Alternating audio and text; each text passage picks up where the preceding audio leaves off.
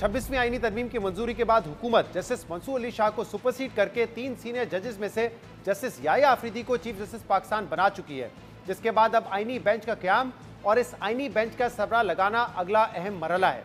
और छब्बीसवीं आईनी तरमीम के मुताबिक इस आईनी बेंच में कौन से जजेस होंगे और इसका सबरा कौन होगा इसका फैसला जुडिशल कमिश्नर ऑफ़ पाकिस्तान करेगा जिसमें जजेस के मुकाबले में, नॉन जुडिशल अरकान की बरतरी वाजे है। अहम बात यह कि आज ही कौमी असम्बली और सेनेट सेक्रेटरीट ने पार्लिमानी जमातों के अरकान की जुडिशल कमीशन में नामजदगी से मुतल खत सुप्रीम कोर्ट को लिखा था, जिसके बाद अब से कुछ देर पहले चीफ जस्टिस याया आफरीदी ने जुडिशल कमीशन का पहला इजलास तलब कर लिया है। जुडिशल कमीशन का यह इजलास पाँच नवंबर दोपहर दो बजे तलब किया गया है, जिसका एजेंडा भी जारी कर दिया गया है।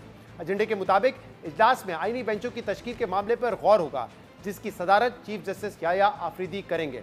चीफ जस्टिस समेत सुप्रीम कोर्ट के चार जजेस के अलावा इस इजलास में वफाकी वज़ीर कानून, अटॉर्नी जनरल और पाकिस्तान बार काउंसिल के नुमाइंदे शरीक होंगे, जबकि पीपल्स पार्टी के senator Farooq H. Naik, Noon league के शेख आफ्ताब अहमद, तहरीक इंसाफ के रहनुमा उमर अयूब और शिबली फराज इस इजलास में पार्लिमान की नुमाइंदगी करेंगे।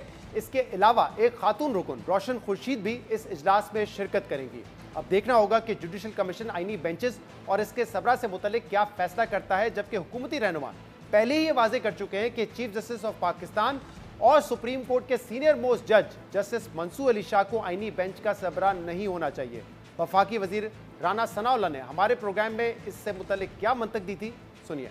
जो हमारे सीनियर मोस्ट जजेज इस वक्त सुप्रीम कोर्ट में हैं जस्टिस मंसूर अली शाह साहब और मरीब अख्तर साहब, ये पिछली जो कंट्रोवर्सी चली है और जिस तरह से चली है, मेरा नहीं ख्याल कि वो ख़ुद भी इस बात को पसंद करेंगे कि उन्हें जो है वो कॉन्स्टिट्यूशनल बेंच का जो है वो सरबराह बनाया जाए। लेकिन मेरी एक इंडिविजुअल की राय ये ज़रूर है कि ये कंसिडरेशन उनके बाद से शुरू होनी चाहिए। चीफ जस्टिस ऑफ़ पाकिस्तान या आफरीदी साहब क्या वो कंसिडरेशन में होंगे? उनको आईनी बेंचेस में लाया जाएगा? इस किस्म के मामला वहाँ पे जो है वो जेर फैसला आने हैं।